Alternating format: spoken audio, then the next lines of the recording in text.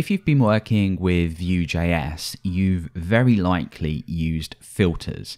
And these are or were convenient ways to go ahead and apply things next to, say, uh, a like count. You'd be able to pluralize that so you'd see like if it was one like or likes if it was two likes. So what I'm going to do is I'm going to basically talk you through what I'm doing here, which is an upcoming course. You can obviously follow this when it's out. Uh, and then I'm going to show you uh, two alternative ways to get around using filters, or at least uh, filters with packages uh, and filters with your own custom functions as well. So the way that this works then is I have a public timeline here.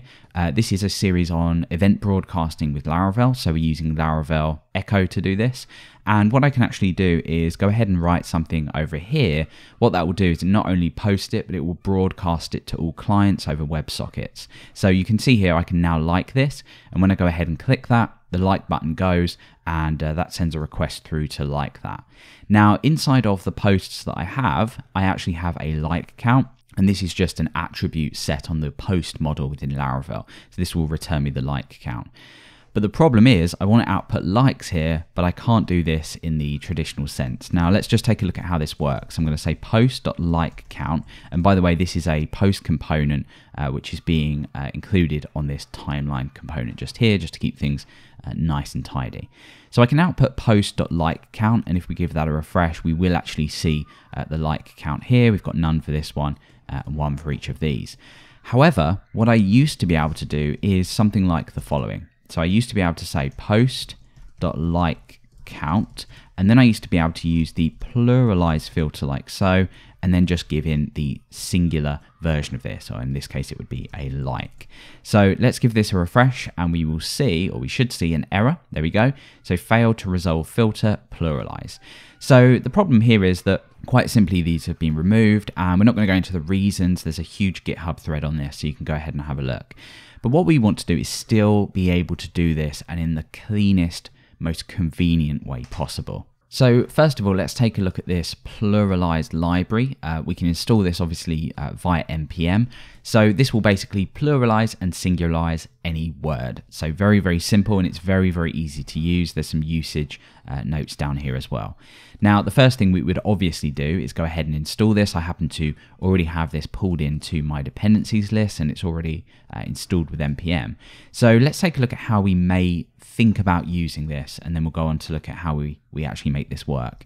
So I would say import pluralize from pluralize.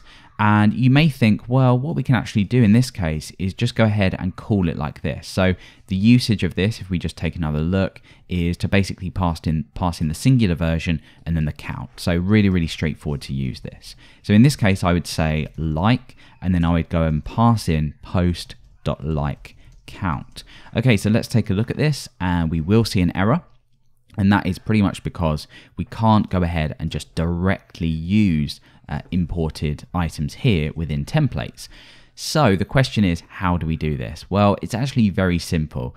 You may already know that we have the ability to define out methods uh, inside of our components. So for example, over on the like button, uh, this is again a separate component. I have a method here which likes something when this button here is clicked. So very, very straightforward.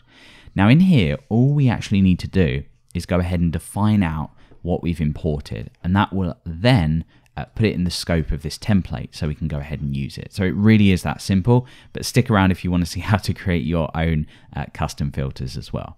So now that I've done this, obviously what we can do as well is create uh, other methods here as well. So just create them as you normally would and do whatever you need. You can call these from your templates as well. Okay, so now that I've done this then, let's go and take a look at our uh, browser and you can see here that this happens to have worked. So we've got zero likes here, and obviously we've got the singular version of it just here. Brilliant. So that's all well and good, but what happens if you are not pulling in a library? Well, let's get rid of this and let's create a silly example so we can see how we might define our own custom filters. So what I would typically do in this case, and you can separate these out further, I would create some kind of a filters uh, JS file just inside of here. And of course, uh, separate these out if you need them. If, you, if this starts to get too long, you'd probably want to break them up. What we can now do is start to define out just normal functions because that's pretty much what filters were anyway. We won't go too much into it, but that's pretty much what they were. So what I can do now then is go ahead and let's just find define out a greeting function just to be quick. And let's uh, accept a name in here and go ahead and return hello and then just go ahead and concatenate on the name. So really simple. Now to use this elsewhere, we're going to go ahead and export greeting. And if you were to define others, you can go ahead and define these in here as well.